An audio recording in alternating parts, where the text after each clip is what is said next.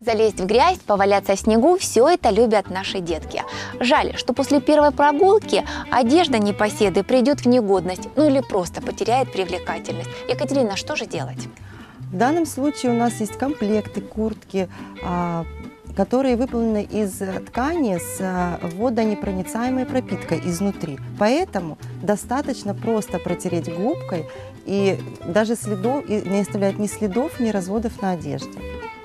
То есть практически всю зиму можно не стирать? Можно, да, практически всю зиму можно не стирать, ну, один-два раза. Есть ли какие-то особенности и какой температурный режим нужно соблюдать при стирке? При стирке нужно соблюдать а, 30-40 градусов машинной стирки, ручной тоже. Сохнет э, данная одежда в вертикальном положении, то есть вода стекла и практически э, изосов значит, внутри уже сухой. А, храним мы э, одежду с изософтом а, в, скрученном виде, а, а не в сложенном.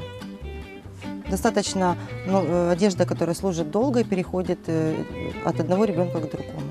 Почему? В чем особенность? Почему ее надо в свернутом виде? Такая Держите. осо- особенность э, хранения именно одежды с э, изософтом, А с можете- наполнителем изософта. А можете сказать, что будет, если я ее не сложу?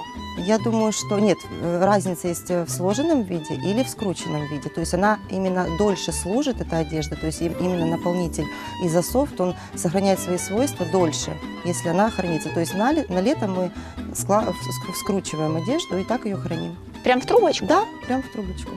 Вопрос безопасности детской одежды. Что он в себя включает?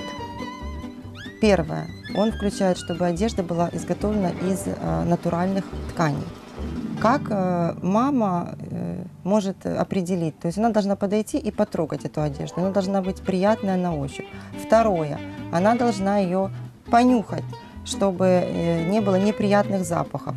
Потому что многие производители используют некачественные красители в одежде. Это очень плохо ну, скажется на здоровье их деток.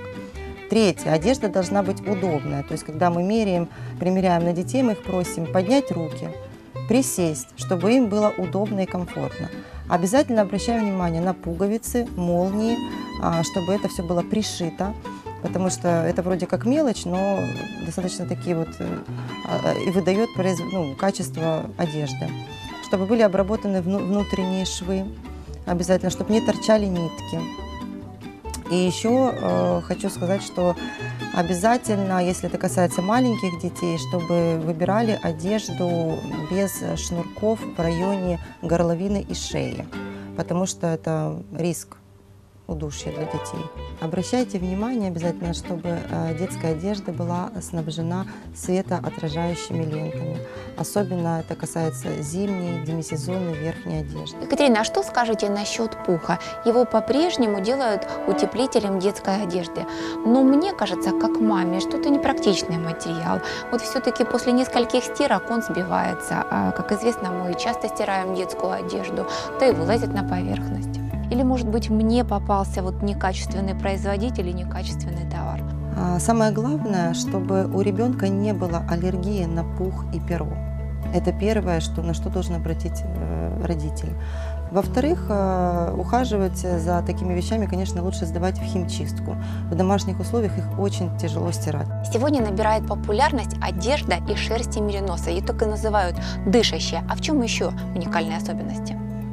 А в том, что она делается из э, а, шерсти таких пород овец, у которых а, тоненькая, очень а, мягкая шерсть.